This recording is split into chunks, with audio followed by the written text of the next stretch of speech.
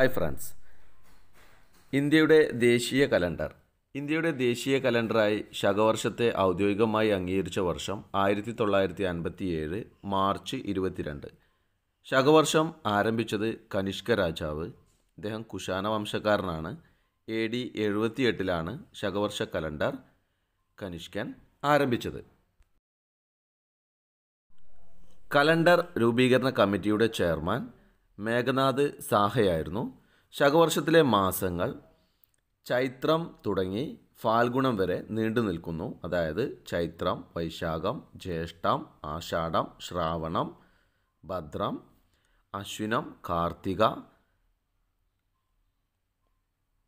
അഗ്രഹായനം പൗഷം മാഘം ഫാൽഗുണം ഇതുവരെ നീണ്ടു നിൽക്കുന്നു.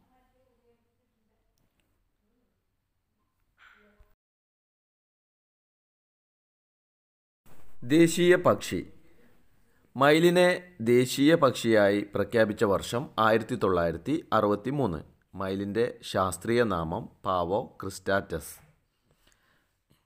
സലീം അലി ഇന്ത്യയുടെ ദേശീയ പക്ഷിയാക്കാൻ നിർദ്ദേശിച്ചത് great Indian bustard great Indian bustard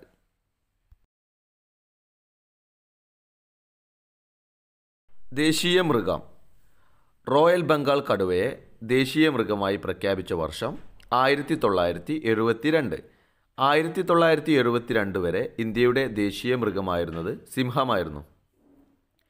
കടുവയുടെ ശാസ്ത്രീയ നാമം പാന്തറെ ടൈഗ്രീസ്.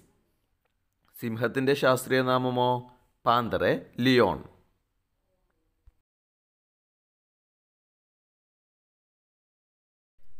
ദേശീയ ജലജീവി. ദേശീയ ജലജീവിയായി ഗംഗാ ഡോൾഫിനെ പ്രഖ്യാപിച്ച വർഷം രണ്ടായിരത്തി ഒൻപത് ഒക്ടോബർ രണ്ട്.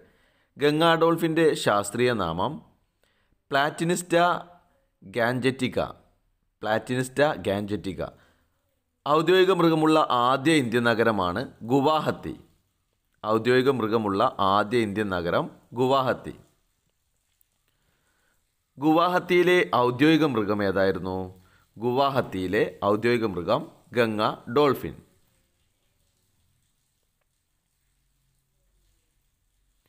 ദേശീയ പൈതൃക ജീവി ദേശീയ പൈതൃക ജീവിയായി ആനയെ പ്രഖ്യാപിച്ച വർഷം രണ്ടായിരത്തി പത്ത് ഒക്ടോബറിൽ. ആനയുടെ ശാസ്ത്രീയ നാമം Elephas maximus indicus. Elephas maximus indicus. ആനകളെപ്പറ്റി പരാമർശിച്ചിരിക്കുന്ന പുരാതന പുസ്തകമാണ് മാതംഗലീല. മാതംഗ ലീല മാതംഗലീല രചിച്ചത് തിരുമംഗലത്ത് നീലകണ്ഠൻ മൂസത്ത്. തിരുമംഗലത്ത് നീലകണ്ഠൻ മൂസത്ത്. ആന ഔദ്യോഗിക മൃഗമായ ഇന്ത്യൻ സംസ്ഥാനങ്ങളാണ് കേരളം കർണാടക ജാർഖണ്ഡ്. ആന ഔദ്യോഗിക മൃഗമായ ഇന്ത്യൻ സംസ്ഥാനങ്ങളാണ് കേരള കർണാടക ജാർഖണ്ഡ്. ദേശീയ ഫലം. ദേശീയ ഫലമായി മാങ്ങയുടെ ശാസ്ത്രീയ നാമം മാഞ്ചിഫറ ഇൻഡിക്ക ദേശീയ ഫലമായ മാങ്ങയുടെ ശാസ്ത്രീയ നാമം മാഞ്ചിഫറ ഇൻഡിക്ക ഫലങ്ങളുടെ രാജാവ് എന്നറിയപ്പെടുന്നത് മാങ്ങയാണ് ഫലങ്ങളുടെ രാജാവ്. ഇന്ത്യയെ കൂടാതെ മാങ്ങ ദേശീയ ഫലമായിട്ടുള്ള രാജ്യങ്ങളാണ് പാകിസ്ഥാൻ ഫിലിപ്പൈൻസ്. മാങ്ങ ദേശീയ ഫലങ്ങളായിട്ടുള്ള രാജ്യങ്ങളാണ് പാകിസ്ഥാനും ഫിലിപ്പൈൻസും.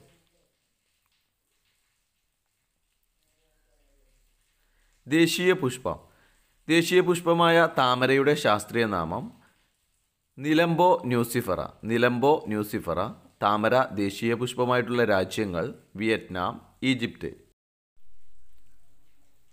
ദേശീയ വൃക്ഷം ദേശീയ വൃക്ഷം പേരാലാണ്. ദേശീയ വൃക്ഷം പേരാൽ പേരാലിന്റെ ശാസ്ത്രീയ നാമം ഫൈക്കസ് ബംഗാളൻസിസ് ഫൈക്കസ് ബംഗാളൻസിസ് പേരാലിന്റെ ശാസ്ത്രീയ നാമം.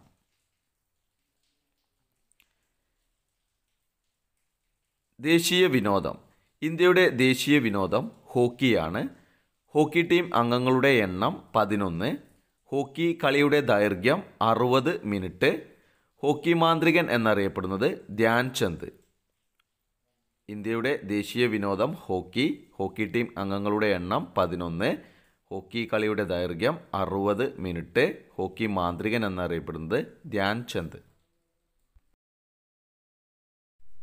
ദേശീയ നദി ഗംഗയെ ദേശീയ നദിയായി പ്രഖ്യാപിച്ചത് രണ്ടായിരത്തി എട്ട് നവംബറിൽ ഗംഗാനദിയുടെ നീളം രണ്ടായിരത്തി അഞ്ഞൂറ്റി ഇരുപത്തി അഞ്ച് കിലോമീറ്റർ ഗംഗാനദിയുടെ ഏറ്റവും നീളം കൂടിയ പോഷക നദി യമുനയാണ്. ഗംഗാനദിയുടെ നീളം രണ്ടായിരത്തി അഞ്ഞൂറ്റി ഇരുപത്തഞ്ച് കിലോമീറ്റർ ഗംഗാനദിയുടെ ഏറ്റവും നീളം കൂടിയ പോഷക നദി യമുന. രണ്ടായിരത്തി എട്ട് നവംബറിലാണ് ഗംഗയെ ദേശീയ നദിയായി പ്രഖ്യാപിച്ചത്.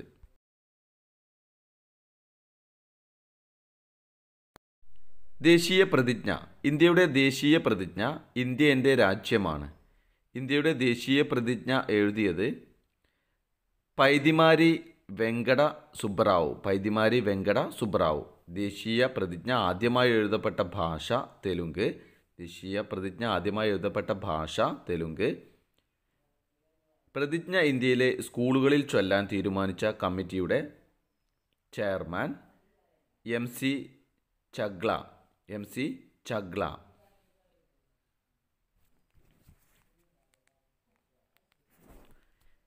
ഔദ്യോഗിക ഭാഷ. ഹിന്ദിയെ ദേശീയ ഔദ്യോഗിക ഭാഷയായി ഭരണഘടന അംഗീകരിച്ചത് ആയിരത്തി തൊള്ളായിരത്തി നാൽപ്പത്തി ഒമ്പത് സെപ്റ്റംബർ പതിനാല്. ഇന്ത്യയിൽ ഹിന്ദി ദിവസായി ആഘോഷിക്കുന്നത് സെപ്റ്റംബർ പതിനാല്. ഇന്ത്യയുടെ ഔദ്യോഗിക ഭാഷ ഹിന്ദിയാണെന്ന് പ്രസ്താവിക്കുന്ന ഭരണഘടനാ വകുപ്പ് മുന്നൂറ്റി നാൽപ്പത്തി മൂന്ന് ലോകത്തിലെ ഏറ്റവും കൂടുതൽ ആളുകൾ സംസാരിക്കുന്ന നാലാമത്തെ ഭാഷയാണ് ഹിന്ദി. ഒന്നാമത്തേത് മാൻഡറിൻ ചൈനയിലെ ചൈനീസ് ഭാഷ എന്ന് പറയും. ഹിന്ദി ഔദ്യോഗിക ഭാഷയായി അംഗീകരിച്ച ആദ്യ സംസ്ഥാനം ബീഹാർ ആയിരത്തി എണ്ണൂറ്റി എൺപത്തി ഒന്ന് ഹിന്ദി ഭാഷ എഴുതാൻ ഉപയോഗിച്ചിരിക്കുന്ന ലിപി ദേവനാഗര ലിപി. Thank you guys have a nice day നന്നായിട്ട് പഠിക്കുക കേട്ടോ. നന്ദി.